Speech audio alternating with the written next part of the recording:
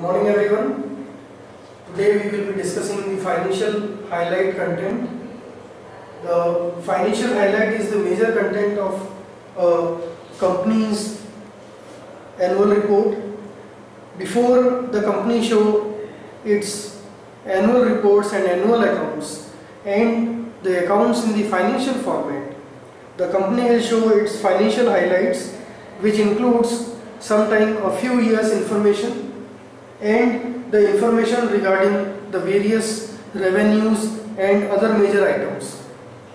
For example, the first slide shows it to us that the financial highlights part that is revenue distribution, it shows that from India the company has earned 30% of its revenue. From Asia excluding India the company has earned 13%. From the Europe 52%, rest of the world 5% and total is 100%. So out of the all uh, uh, the whole circle which shows it to us the this part is the revenue which is earned from India. This part is from other part of Asia. This is the part from, uh, which is from Europe and the small four part from rest of the world. So this is the first part of revenue distribution in which the company shows it to us the revenue of the company the second part is related with the capital employed. Since I have taken the sample for the, from the company that is Tata Steel, the Tata Steel revenue is generated from the various part of the country uh, and world and the capital employed is also not only taken by the company from India but also from other part of the world. The greater share of the company's capital employed is from India as 45% is being shown here. So this is the first part, the maximum part of the revenue uh, of the capital employed is from India. The part number two that is the Asia excluding India. So 8% of the company's capital employed is taken from the other part of the Asia. From the Europe 38%. So this is the second largest part of the capital employed which is invested in the Tata Steel company which is taken from the Europe and in the fourth part from the rest of the world 9% of the capital employed is being generated by the Tata Steel company. If we go further, now the company has to show six items which is in terms of a comparative statement of 5 years in the financial highlight content. So now we can check it out that the turnover of the company uh, has been shown from here 2010 to 2014. The total turnover of the company has increased from 1 lakh 8000 rupees in crore to 1 lakh 46,614 crore of rupees from 2010 to 2014 and there is a continuous increase in the revenue except in 2013 where it has just gone by the marginal uh, difference so that is the company's turnover, that is the company's uh, basic revenue uh, which is earned by the company. This revenue is calculated by the company after deducting uh, after, dedu after deducting the excise duty. So it is excluding the excise duty. The next part which has been shown by the company and which is to be shown by all other companies includes the earning before interest, tax and depreciation. This is calculated uh, by the company and the profit which is uh, before the interest, before tax and before depreciation has been shown by the company here. If we check it out, the profit of the company has shown a variability as from 2010 to 2011 it has increased 2011 to 12 decrease and 2013 again decrease and in the last year it has increased from 2010 to 2014 it has increased from 9683 to 1600 uh, sorry 16377 crore of rupees. This EBIT uh, uh, DA is calculated with the help of profit before ex extra uh, sorry exceptional items and taxes by adding the financial charges depreciation by reducing minority interest and adding the share of profit of associates. The another item which is shown by the company normally for the 5 year period that is profit after tax. If we check out the profit after tax for the year 2010 the company has suffered a loss of more than 2000 crore of rupees and the same has increased from 2010 to 2011 that is positive 8983 crore. It has gone down again in 2012 and in 2013 the company has suffered a loss. But again in the last year the company has suffered a profit. So each company in its financial uh, disclosure are disclosing these few items. Normally these are total 8 part on which the company has to present itself uh, for the 5 year highlights. The next part is net debt upon EBITDA means net debt is the amount of debt or loan which is taken by the company. And the company want to know that what is company's earning before depreciation interest and tax and what is its ratio with the net debt? So the debt, uh, so the ratio of net debt upon earning before interest tax and depreciation is 4.6% in 2010-11 which has reduced to 2.8 again it has increased to 3.7 and 4.6 and in the last year it has decreased to 4.3 which means that for 1 rupees loan the companies uh, uh, for 1 rupees profit which is covering the net debt is 4.3 the next is earning before interest tax and depreciation margin. This is the margin of gross profit of the company and this margin has shown again uh, similar or equal uh, flow in the last 5 years except 2011 where it has increased to 14% otherwise it is uh, close to 9, 10 or 11 percentage in the last 5 years out of 4. The next is return on investment return on invest, uh, investment or return on invested capital. This return shows it to us that what is the amount or what is the percentage of company's earning over its invested capital. This uh, is calculated for the past 5 years and again it has shown that in 2010 it is uh, 8, it has increased up to 20, decreased up to 11 percent and then again 8% and finally for the last year it is 11% which means that the company's earning over its investment is 11%. The another part which company normally shows it to their investors that is the production and sales. The production and sales facility is available of the, uh, for the company and that is in not only in India but in South Asia, Europe and uh, for the whole Tata Steel group. The company is having plant at three different places India, Southeast Asia and Europe. So out of the total production of the company, the major portion or the maximum part of the company has produced, uh, the company has produced that is from Europe that is 13.07 and uh, it has sold also in the Europe which is more than its production. But in India the company has produced less and sold more. Similarly, this, this is the current year figure. So in the current year because of the stock of the previous year, the production may be less and sales may be higher. This is the production which company has uh, this is the steel which company has made in terms of million tons. Not only these information, the other detail is also being given by the company like operating segment.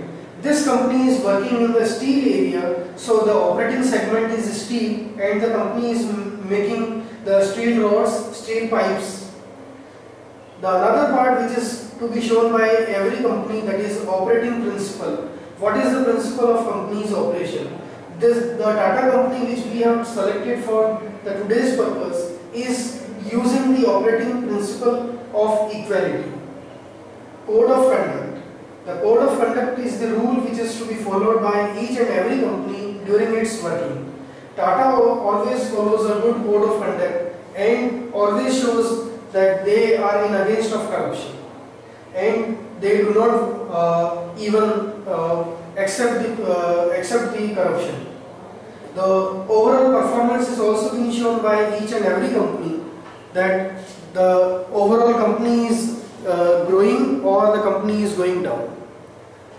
The social work which is done by the company is also being shown that the company is working. So the Tata company is working on the name of Tata Foundation where they are helping the people for the purpose of their uh, living standard improvisation. With this detail, finally a explanatory statement is given by the company's management regarding to the explanation of the uh, company's work which company has done in the last year. The another part which is uh, to be done or to be presented by the company is the mandatory disclosure. As per the uh, clause number 49 of the listing agreement, each company has to show two things to the uh, share market, to the stock exchange for as a mandatory requirement and in absence of this the, uh, the company can be uh, uh, can be delisted from the stock market. These two informations are related with the director's appointment and reappointment in the annual general meeting. The uh, time period for which the directors are appointed is fixed. If the time period is going to be over, in that case the company will have to reappoint the director. So the those directors whose uh, time period for which they are appointed in the company is going to be over, their detail of reappointment is being given by the company. Ex except this, the company will also provide the detail of various com various committees which have been made by the company. These committees are made for well functioning of the company. It includes shareholders committee, audit committee, which, which are the two major basic companies. Companies uh, committee. Now uh, let us go ahead and let us check about the director's report. The director's report which is made by the company is the uh, conversation between the company's director and company's shareholders. This information includes the financial results of the company. Financial results means the company's profit, whether company has earned profit in last two three years, whether it has increased, it has decreased, whether the company has opened a new plant or increasing the production, decreasing the production, etc. So the financial result will shows it to us that this is the company's real work and the company's profit. Normally the financial highlights is given in a table in the director's report. The second part is results of operation. The results of operation of the company's work is being shown by the company that the company is working in this particular production area or this particular country and they are gaining profit or loss from that particular country. The third part is related with the dividend. It is of the major concern for the investor that whether the company has given them a profit or not. So the dividend which is earned by the company, uh, sorry, which is uh, proposed by the company to be given to the shareholders is included in the director's report. This dividend is the proposed dividend and once it is accepted in the annual general meeting Thereafter, the proposed dividend will be given, will be distributed to the shareholders. As an important part and as an important concept, the company also has to show its credit worthiness to its investor. That if the company's credit worthiness is good, then the investor will believe that the company's life will be good and they will invest in the company. To gain the new investor and to uh, to uh, uh, make the current investor believe that their investment is safe, the company will go for the credit rating of its operation. The credit rating is being done by the other companies, outsider company, and those company will provide the uh, rating to the company and according to the rating the investor will believe that the company's uh, credit worthiness is good and company's future is good and the company will provide dividend to the to them in the future and their investment is safe in the company. The another part is related with employee stock option scheme. In case a company provides employee stock option scheme to its shareholders which is for the purpose of uh, distributing shares to the common persons who are working in the company and uh, making them participative in the company's operation and company's profit. The company offer them the shares of their company which is normally offered below the market price or sometime it is way below the market price so that if the investors uh, and the employee both will be benefited the investors are being given the right issue while the employees are allowed employee stock option plan under which they can buy the shares. This scheme is normally open for a period of 4 to 5 years under which the investor will buy the uh, sorry the employee will buy the shares of the company. The next point which is covered under this is management discussion and analysis report. The company's management will discuss upon certain important points and issue which is included in this part and finally the corporate social responsibility and corporate governance committee which is made by the company their working is also being discussed in this part.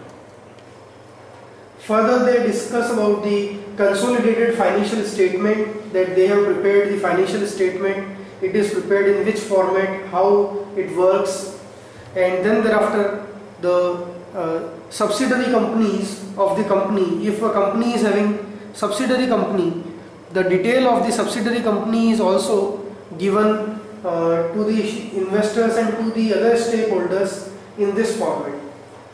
With this, the directors, the director's responsibility statement is also being shown, which includes that the directors working of the company, the directors have worked well for the company, how they uh, have made the plan for the company's future, and they have completed their responsibility or not. So that will be written here, and Thereafter, the company will present the name and name of the auditors and auditors report that this is the company or this is the chartered accounting firm which has conducted the audit, audit work of the company.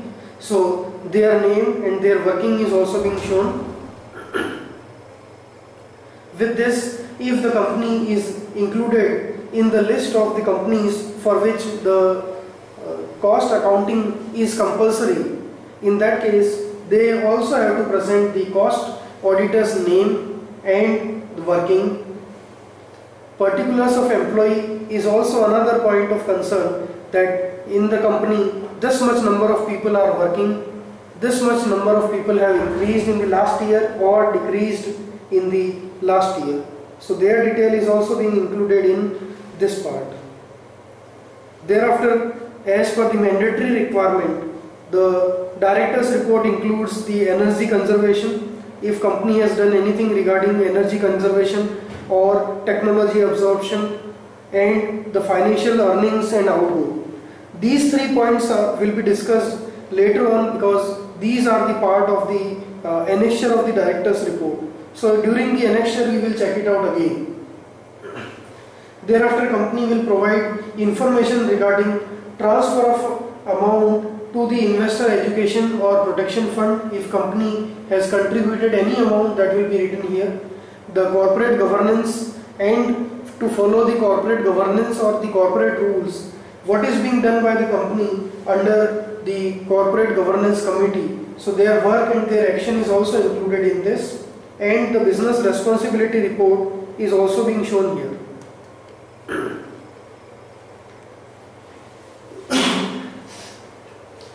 As I said that there are three different annexures in the director's report. These three annexures includes or these three annexures are given on the basis of the mandatory requirement of the annexure to the director's report. As per the uh, mandatory requirement of SEBI, the disclosure requirement under employee stock option plan, employee stock purchase scheme is given under the part 1 or the annexure 1 of the director's report. This report provide that uh, provide the detail of number of shares to be allowed for a particular employee which is working in the company. Then thereafter how much uh, option is being exercised by the people, by the persons who are working in the company and what is the amount of uh, profit which company has generated or what is the amount for which company has given discount to the uh, employees that is uh, to be shown it here as per the guidelines which is given uh, by the SEBI in 1999. Part second is related with the conservation of energy. The conservation of energy is also important part for the sustainable future of human being. That is why the this part is included in the company's director's report that what company has done for the purpose of conservation of energy. So the company will show it to the uh, stakeholders that it has uh, taken few steps regarding energy conservation.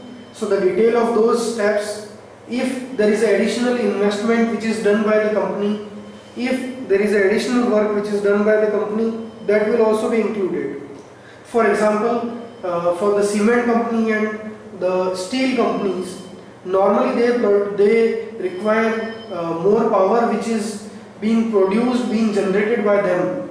So their the, the detail regarding conservation of energy includes the uh, power which is used by the company.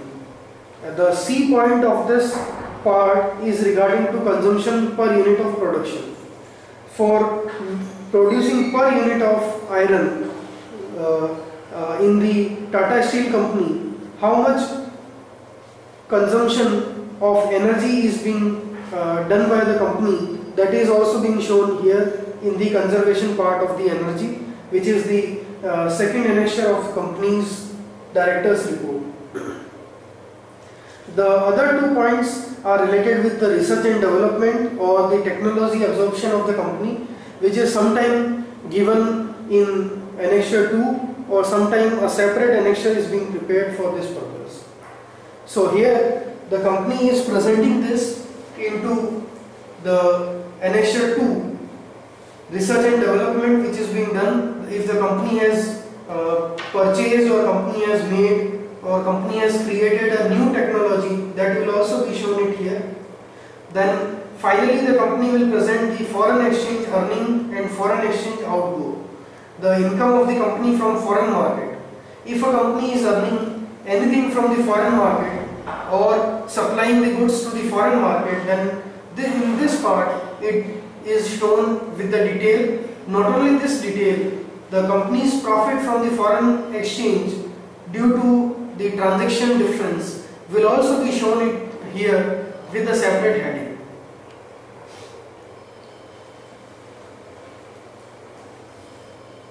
now the next before we go to the next point we will check out the real uh, annual report of one company.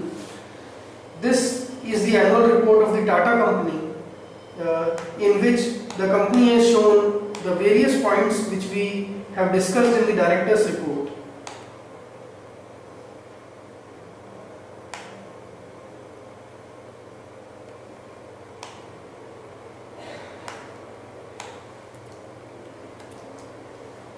So this is the director's report of the company uh, Tata Steel.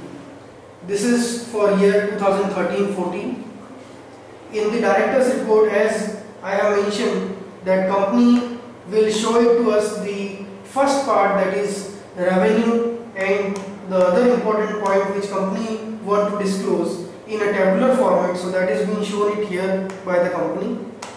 Thereafter the company will show it to us the dividend the uh, dividend of the company for the year of uh, for the year 2013-14 and for total 97 crore 12 lakh 15,405 ordinary share is being shown by the company here and it is 16% for the current year.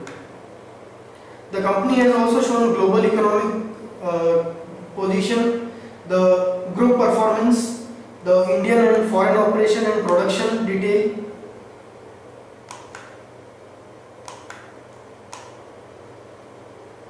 the review of various types of risk is also being presented, amalgamation or the major development which has been shown by the company. The company has amalgamated with some of the companies. Then the company's new capital project is also being shown here. The company has done some specified measure for safety and health which is also being shown by the company with the environment detail that what company has done for the environment. The CSR activities and its detail is also being given by the company here the detail about the company's subsidiary is also given in the director's report. These are, this is the detail about the company's director that these directors are appointed and uh, in the annual general meeting. The another information is regarding to the auditors that these the Deloitte uh, company is the company's auditor firm, auditor or audit firm the company will uh, thereafter they have shown that particular of employee that these are the employee. They will also show the energy conservation and technology uh, absorption and foreign exchange earning and outgo. The business responsibility report is being prepared. Director's responsibility statement that whatever they are presenting in the annual report is correct. Finally the report is signed by the uh, chairman of the company. So this is the director's report of the company Tata Steel. Thereafter the, uh, they have shown or they have presented the declaration but we will rather check it out the annexure. This is the first annexure regarding to the energy conservation measure taken by the company. So these are the six measures which is taken by the company including the energy audit. The additional investment is proposed by the company in few parts that is the detail. The impact of the above measure is the energy consumption uh, of the plant regarding to the uh, highlight of highlight of uh, uh, power generation, the highlight of steam generation, the lowest consumption and plant specific power rate is also being shown which shows that company has used 408 kilowatt energy for per ton steel manufacturing. The further detail of production is shown in Form A and Form B. Form B also shows the research and development expenditure and the benefits. Then uh, the new generation of steel plant, their detail is also being shown by the company. The second part of the second annexure is shown by the company regarding to the foreign exchange earning and outgo. The company has earned with the activities of export, with the expo uh, activities of uh, uh, initiative taken by them by developing a new export market. So how much amount company has earned and paid that is also being shown by the company. This is the management discussions regarding to the industry, industrial structure, steel industry in India, Tata Steel Group, their operation, production and sales of the company to the various part of the world and in the India, the other subsidiary companies and their production detail is also being shown here by the company. The financial performance of uh, standalone company Tata Limited and thereafter they have shown the financial position of uh, consolidated financial position with the other uh, or for the whole Tata group.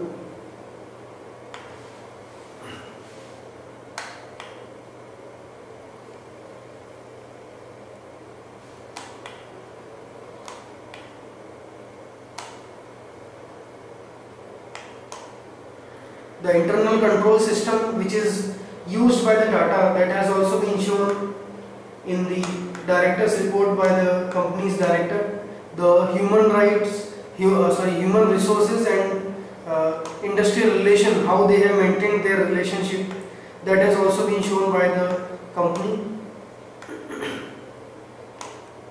Statutory compliance that they have complied with the statutory rules or not uh, caution statement where company has to work further that has been shown by the company. Thereafter the corporate governance report for the current year is being shown by the company.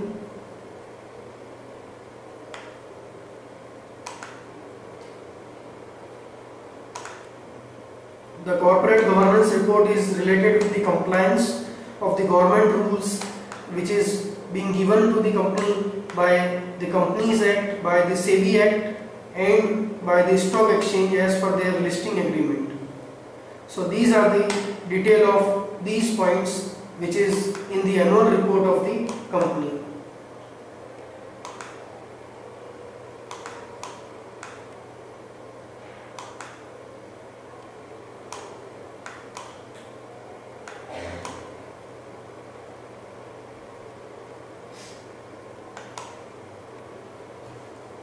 Now we move ahead and we will be checking it out the uh, audit report for the company.